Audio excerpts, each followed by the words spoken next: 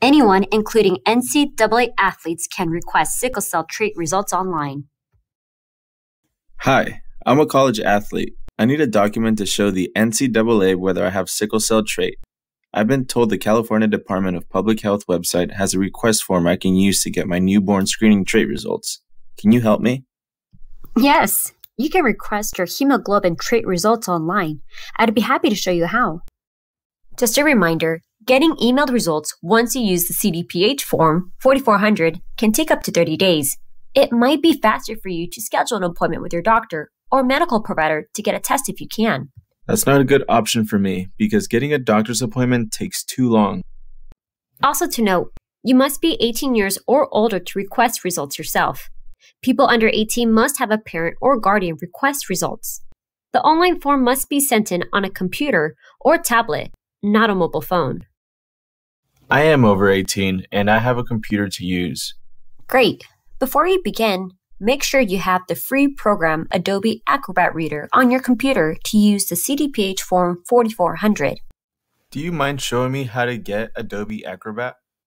Sure. To download the program, go to https colon slash slash get dot adobe com slash reader slash and click the download button and follow the instruction on the screen.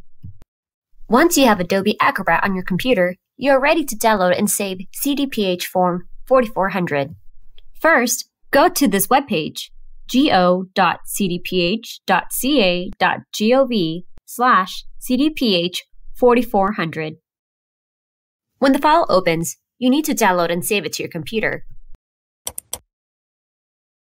Save and close the open file. Go to the location where you saved the file and open it. When you open the form, it should have the fields outlined in red. That is how you know it is ready to be filled out and submitted online.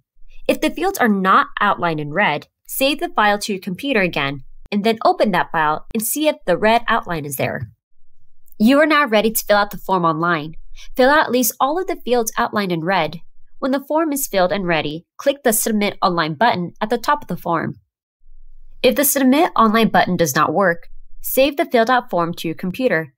Then attach it to an email addressed to ncaa nbs results at cdph.ca.gov. Can you show me how to attach that form to an email? Yes. First, open a new email to be sent with the address. Then click the symbol that looks like a paperclip. Find your file name where you saved your form and click to select it. This will now attach your form to the email. Also, can I just print the form instead? Yes. Make sure you fill out the form in clearly with block letters. Then scan it to your computer or take a photo of it with your phone. You can then attach it to an email addressed to ncaa nbs results at cdph.ca.gov. Perfect. Thank you for helping me.